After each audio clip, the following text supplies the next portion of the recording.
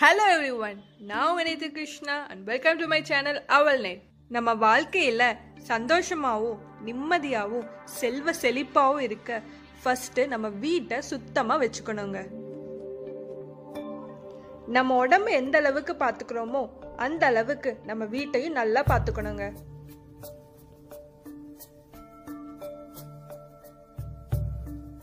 நான் சொல்லக்கூடிய ஒரு சில விஷயத்த நீங்களும் ஃபாலோ பண்ணுங்கள் உங்கள் லைஃப்லேயும் சேஞ்சஸ் வரும். ஏன்னா என் லைஃப்லேயும் சேஞ்சஸ் வந்திருக்கு. அதுதான் நான் உங்கள் கூட ஷேர் பண்ண போகிறேன் பாசிட்டிவ் வைப்ரேஷனுக்கு முதல்ல நம்ம பூஜை ரூமில் இருக்க விளக்கை ஏற்றணும் எந்த வீட்டில் விளக்கு ரொம்ப நேரம் எரியுதோ அந்த வீடு ரொம்ப சந்தோஷமாக இருக்குன்னு சொல்லுவாங்க. விளக்க கிழக்கு திசையை பார்த்து ஏற்றணுங்க கண்டிப்பாக தெற்கு திசையை பார்த்து ஏற்றக்கூடாது விடியற் நாலரையிலிருந்து ஆறு மணிக்குள்ளே விளக்கேற்றுனா உங்கள் வீட்டில் பாசிட்டிவ் வைப்ரேஷன் கிடைக்குங்க. அடுத்தபடியாக இந்த எலுமிச்சை பழம் மூலமாக நமக்கு நிறைய பாசிட்டிவ் வைப்ரேஷன் கிடைக்குங்க. கல்லடி பட்டாலும் கண்ணடி படக்கூடாதுன்னு சொல்லுவாங்க. இந்த எலும்பிச்சம்பழம் நம்மளை கந்திருஷ்டியிலிருந்தும் பாதுகாக்கும். நான் சொல்கிற மாதிரி இந்த எலும்பிச்சம்பழத்தை நீங்களும் உங்கள் வீட்டில் வைங்க. நிறைய பாசிட்டிவ் சேஞ்சஸ் வரும். அது நீங்களும் உணர்வீங்க. ஒரு கண்ணாடி டம்ளர் எடுத்துக்கோங்க. அதில் நல்ல தண்ணி ஃபுல்லாக ஊற்றுங்க அப்புறம் ஒரு எலும்புச்சம்பளத்தை நல்லா கழுவி அந்த கண்ணாடி டம்ளருக்குள்ள போடுங்க. இந்த கண்ணாடி டம்ளரை உங்க வீட்டு என்ட்ரன்ஸ்ல வைங்க. உங்க வீட்டுக்கு யாரு வர மாதிரி இருந்தாலும் அவங்க கண் பார்வைக்கு இது படுற மாதிரி வைங்க. நம்ம வீட்டுக்கு வர ஒவ்வொருத்தரும் ஒவ்வொரு மைண்ட் செட்டில் வருவாங்க.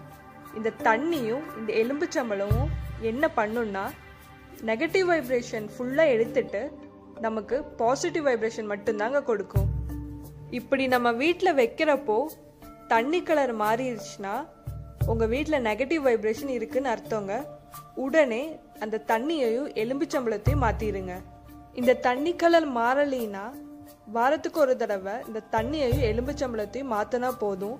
எலும்புச்சம்பளத்தை யாரு கால்லையும் படாத மாதிரி பார்த்துக்கோங்க. அடுத்தபடியா வீட்டில் எப்போ சந்தோஷம் கிடைக்கணும்னா அதுக்கு தேவைப்படுறது உப்பு தாங்க உப்பு எப்பவுமே வீட்டில் நிறைஞ்சு இருக்கணுங்க. இந்த உப்பை நீங்கள் உப்பு ஜாடியில் தாங்க வைக்கணும்.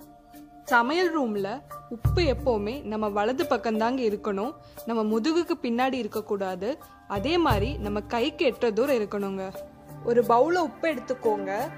அந்த உப்பை உங்கள் வீட்டில் ஒரு மூலையில் வைங்க இப்படி வைக்கிறனால உங்கள் வீட்டில் இருக்கிற பிரச்சனைகள் நீங்கி சந்தோஷம் பெருகும். கடன் பிரச்சனையும் இருக்காதுங்க. இந்த உப்பை வாரம் ஒரு முறை மாற்றிடுங்க தண்ணியில் போட்டு கரைச்சி வெளியே ஊற்றிடுங்க அடுத்தபடியா விடியற் காலையில நான் சொல்றத பண்ணுங்க. நீங்க நினைச்ச காரியம் நிறைவேறும். ரெண்டு கையில உப்பு எடுத்துக்கோங்க. உங்க மடியில ஒரு வெள்ளை பேப்பரை வச்சிருங்க. இப்ப நான் உட்கார்ந்துருக்கிற மாதிரி நீங்களும் ஒரு மேட் விரிச்சு உட்காந்துக்கோங்க இப்படி விடியற் காலையில நம்ம கையில உப்பை வச்சு மனசார ஒரு விஷயத்த நினைக்கணுங்க. உதாரணத்துக்கு தொழிலில் நல்ல முன்னேற்றம் கிடைக்கணும்னு நினைச்சா அது கண்டிப்பாக நடக்குங்க. இதை டெய்லி ஒரு பத்து நிமிஷம் பண்ணிங்கன்னா உங்களுக்கு நிறைய பாசிட்டிவ் வைப்ரேஷன் கிடைக்குங்க. கையில் இருக்கிற உப்பை மடியில் இருக்கிற வெள்ளை பேப்பரில் போட்டுருங்க. அதுக்கப்புறம் கிச்சனில் டேப் திறந்து அந்த உப்பை தண்ணியில் கரைச்சிருங்க.